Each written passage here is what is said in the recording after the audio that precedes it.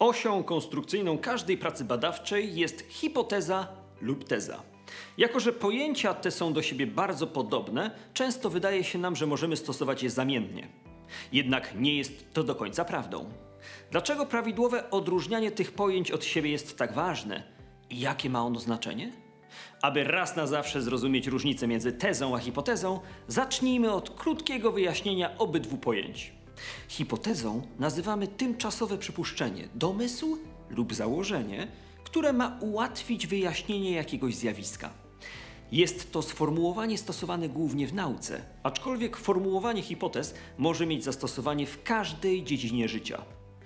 Teza ma za to nieco szersze znaczenie.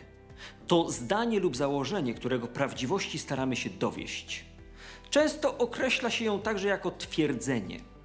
Mówiąc jeszcze prościej, tezę stawiamy zawsze wtedy, gdy mamy już określone zdanie na dany temat. Naszym zadaniem jest więc znaleźć argumenty, które taką tezę popierają, pokazują, że tak właśnie jest. Hipotezę stawiamy natomiast, jeśli nie jesteśmy pewni tego, jak jest naprawdę, a jedynie przypuszczamy, że może być tak lub inaczej. W takim przypadku musimy poszukać odpowiedzi zarówno wśród argumentów za, jak i przeciw. Właśnie dzięki nim możemy potwierdzić daną hipotezę lub jej zaprzeczyć, podczas gdy tezę zawsze argumentami uzasadniamy. Teraz zobrazujmy owe pojęcie na przykładach. Być może nawet nie zdajemy sobie sprawy, ale każdy z nas naprawdę bardzo często stawia hipotezy. Dla przykładu, hipotezą stawianą w życiu codziennym może być zdanie: hm, Czuję, że ten film mi się spodoba. Albo jak nic, oblałem ten egzamin. Pamiętajmy więc, że hipotezy to tylko przypuszczenia. Formułujemy je na podstawie przesłanek. Trailer filmu może wskazywać na to, że będzie nam się podobał, a przepocona koszula po wyjściu z egzaminu to wskazówka, że mogło nie pójść nam za dobrze. Jednak dopiero w momencie, gdy zdobywamy dowód dla naszych przypuszczeń, na przykład okaże się, że tak jak zakładaliśmy, nie zdaliśmy egzaminu, hipoteza staje się prawdą popartą argumentem, czyli tezą. Ciekawie robi się w przypadku, gdy otrzymamy dowód, ale nie zgadza się on z naszym uprzednim przypuszczeniem.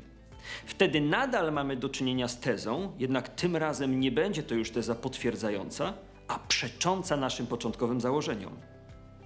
Wiele przełomowych odkryć naukowych wzięło się właśnie z zaprzeczenia hipotezie, uznawanej z początku przez większość za prawdopodobną. Jak już wiemy, twierdzenia i przypuszczenia naukowe należy zawsze uzasadniać. Każda hipoteza podlega więc testowaniu i, jak ma to miejsce w przypadku każdego z zachodzących w tej wymagającej dziedzinie procesów, nauka konkretnie nazywa każdy z możliwych wariantów takiego właśnie testowania.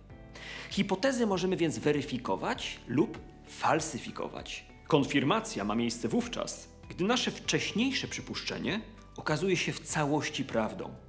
Jeżeli natomiast proces badawczy wykaże, że hipoteza jest nieprawdziwa, następuje tak zwana falsyfikacja tezy, zwana też negatywną weryfikacją. Możemy łatwo zauważyć, że we wszystkich pracach czy rozprawach naukowych podczas prowadzenia procesu badawczego znacznie częściej naukowcy najpierw stawiają hipotezy, które następnie starają się sukcesywnie udowadniać.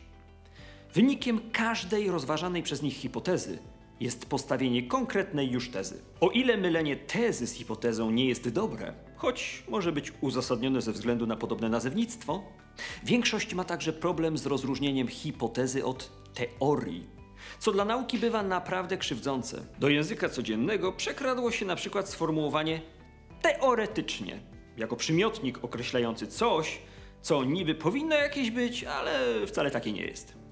W nauce teoria to zbiór twierdzeń, które dają się w satysfakcjonujący sposób udowodnić, stosując najróżniejsze metody naukowe, jak na przykład obserwacja czy eksperymenty.